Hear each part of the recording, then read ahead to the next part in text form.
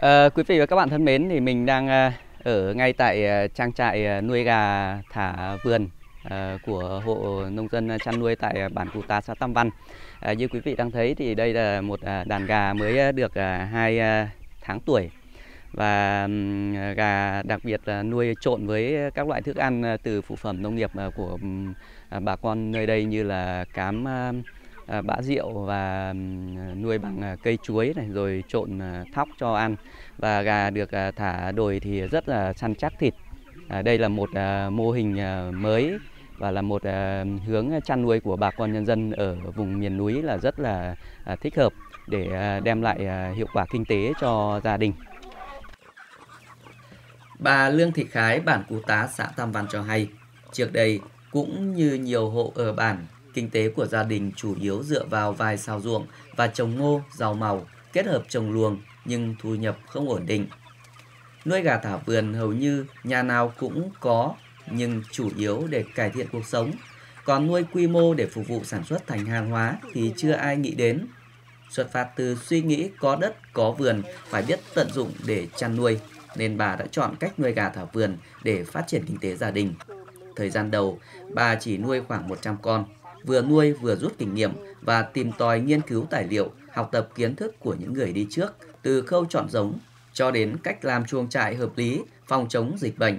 Ngay cả việc cho ăn cũng phải hợp lý theo từng giai đoạn phát triển của gà để chúng hấp thụ thức ăn một cách tốt nhất. Bà được tham gia lớp tập huấn chăn nuôi gà do Hội Nông dân huyện và xã tổ chức nên bà đã mạnh dạn đầu tư mở rộng chuồng trại, tiếp tục nâng quy mô đàn gà lên 300, 500 con rồi 1.000 con mỗi lứa. Cũng theo bà Khái, cách nuôi gà rất đơn giản, không tốn nhiều thời gian chăm sóc. Gà con từ 1 đến 2 tháng tuổi thì cho ăn 100% cám công nghiệp. Khi gà từ 2 tháng tuổi trở lên, bà nuôi trộn thêm ngô, lúa và các sản phẩm nông nghiệp khác như cây chuối, thái băm cho gà ăn, kết hợp thả vườn để gà vận động, bảo đảm thịt gà săn chắc và thơm ngon. Đầu tiên thì gà mới bắt về thì cũng phải cho ăn bột hoàn toàn. Đầu tiên là cũng khoảng 15 ngày là phải cho ăn bột phải cho ăn ngày ăn đêm. Nhưng đầu tiên mình lấy gà về á, thì mình phải cho uống nước sạch. Thứ nhất là nước mình đun suối để nguội. Thứ hai nữa là mình phải cho ăn dùng thuốc tức là phải thuốc uống gà đó ạ không có thuốc uống thì về không có sống được. Nhiều nhà nuôi không có kinh nghiệm cũng chết nhiều nhưng nhà mình lại là lấy về cứ phải lấy thuốc về uống. 15 ngày là cứ phải dùng một tuần thì mình phải đun nước lên cho để nguội cho uống. Xong hết đi là mình lấy nước sạch. Xong được một tháng là mình cho ăn trộn. Được một tháng là mình thả ra là cho ăn độn là cho ăn bà bia, bà sắn. Với lại là thỉnh thoảng mình nấu rượu cho ăn trộn đến sạch ruột, khỏi run. Quan niệm nuôi ở đây thứ hai nữa là phải cho cái chuối để có chất xơ. Đến tháng thứ ba là mình phải cho ăn bột ngô. Mình cho ăn bột ngô nhanh quá thì cũng béo quá nói chung là mình phải cho ăn đến tháng thứ ba thì mới cho ăn được. Tháng thứ tư thứ năm mình cho ăn thịt là mình mới cho ăn như thế thôi. Hiện nay thu nhập từ nuôi gà là nguồn thu nhập chính của gia đình. Ngoài ra gia đình bà còn nuôi thêm ngan vịt lợn kết hợp trồng keo trồng luồng xoan lát. Mỗi năm tổng thu nhập của gia đình cũng trên 100 triệu đồng.